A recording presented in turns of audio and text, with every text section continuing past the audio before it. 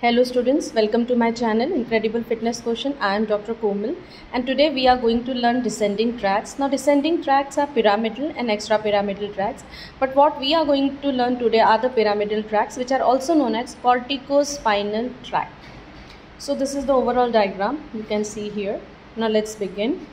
25% of the fibers of the pyramidal tract they begin from the motor area 4 and 6 and remaining 75% they are derived from parietal, temporal and occipital lobe areas 1, 2, 3, 5 and 7. Now you can see here on the cerebral hemisphere the leg fibers they are on the topmost pos position and the head fibers are at the lowermost. And while descending to the internal capsule so the, these are the fibers these are the head fibers. They are coming to the internal capsule these are the trunk fibers and these are the leg fibers. So while descending down in the internal capsule, now these fiber they undergo rotation through 90 degree as you can see here. And thus the internal capsule the head fibers now they are lying anteriorly here yes and that is in the intercapsule. The trunk fibers they lie medially and the leg fibers they occupy the posterior position they occupy the genu and anterior two-third of the posterior limb of the internal capsule. So this is how the fibers they have rotated here as you can see here through 90 degree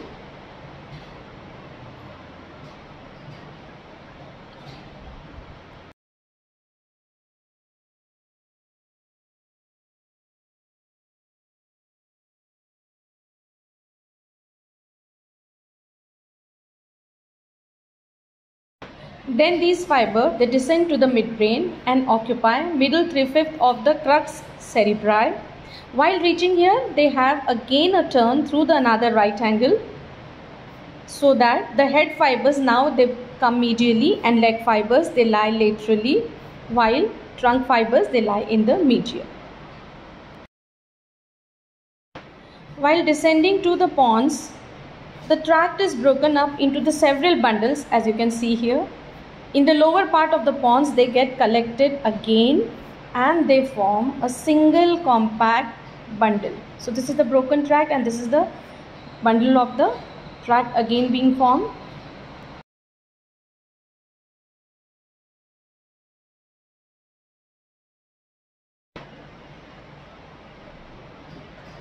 In the medulla, this bundle lies most anteriorly and forms a bulging known as pyramid. Hence the name of the tract is pyramidal tract.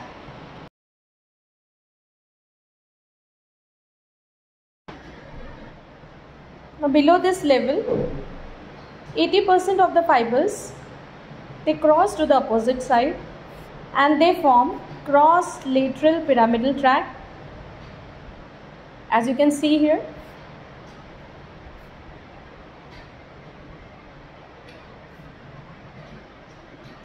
while remaining 20% of the fibers they remain uncrossed and they form uncrossed anterior corticospinal tract or pyramidal tract and uncrossed lateral corticospinal tract. So these are uncrossed fibers. Ultimately the fibers they terminate on the motor neurons in the anterior horn cell of the spinal cord and their axons supply the various parts of the body. So what are the functions? All the voluntary muscles, they are supplied by pyramidal tract.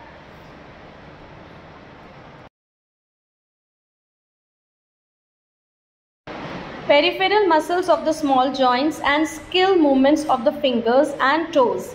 These are entirely controlled by the pyramidal tract. Example, writing, painting, etc. The pyramidal fibers are excitatory to voluntary muscle and when stimulated they increase the muscle tone. So dear students go and learn this tract. If you like my video kindly share subscribe and comment if you want to get some other topics to be discussed here with me. So this is the overall descending tract that is a pyramidal or corticospinal tract I hope you have understood this I tried my level best to simplify the topic. So do subscribe, share, like and thank you for watching my videos. So we'll meet with the next video. Thank you.